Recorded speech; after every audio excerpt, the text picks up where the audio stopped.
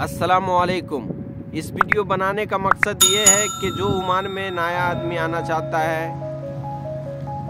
Oman में जो नया आदमी आना चाहता है, उसका सैलरी क्या है? हेल्पर का सैलरी क्या है? ड्राइवर का सैलरी क्या है?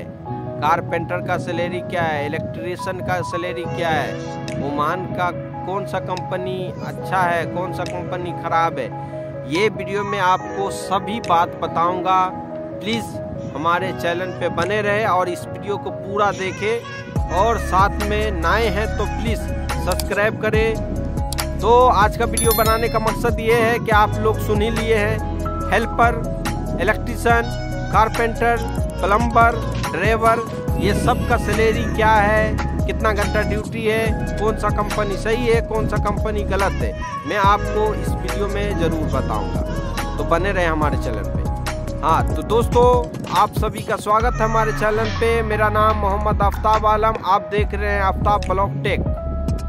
नए हेल्पर जो आना चाहता है, उसका सैलरी ओमान में बड़ी बड़ी कंपनी है। जैसे अलनबा हुआ लेबर लोग का हेल अलनबा हुआ ओ आई जी हुआ।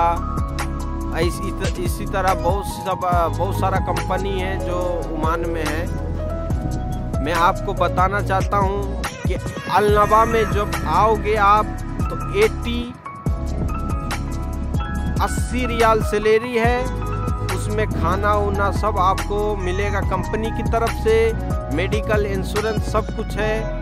और प्लस उसमें आपको रूम वूम भी है, ट्रांसपोर्ट का जो चार्ज है, वो कंपनी का है, सब कुछ कंपनी का है। सबसे बड़ी कंपनी अलनावा है, ओमान में। अभी के दूसरा कंपनी आ रहा है जो अभी धमाल मचाए हुआ है ओ आई जी ओ आई जी भी बहुत ही अच्छा कंपनी है। उसमें 100 है 100 सैलरी है और खाना पीना सब कंपनी का है, जितना भी सब कुछ कंपनी का है।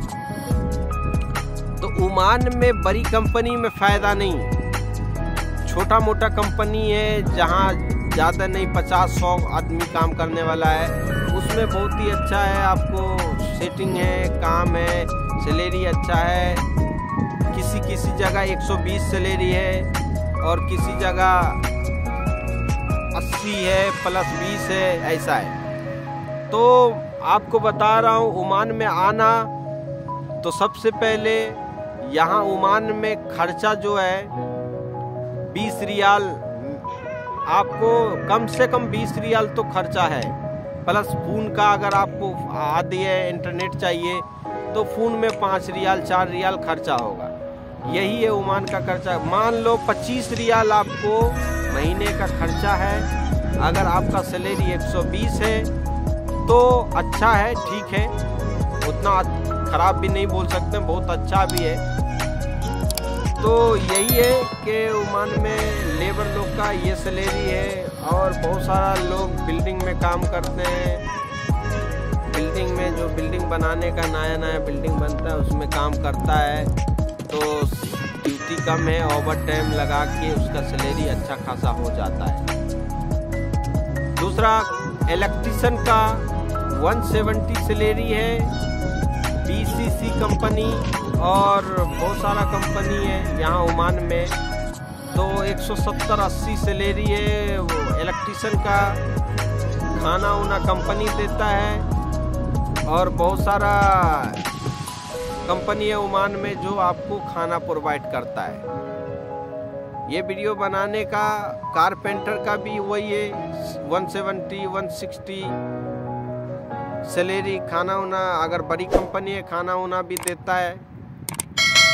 आपको हो गया का प्लम्बर का प्लम्बर का देखो। 150 140 इस तरह से सब कंपनी में चल रहा है। और लास्ट में जो आता है ड्राइवर का, हाउस ड्राइवर का 170 80 90 160 इस तरह से सैलरी है। और कंपनी में 160 150 170 इस तरह से सैलरी तो आप लोगों को इस वीडियो को मैं बनाया। आप सभी का मैं शुक्र अदा करना चाहता हूँ कि जो इस वीडियो को पूरा देख रहे हैं और थैंक यू सो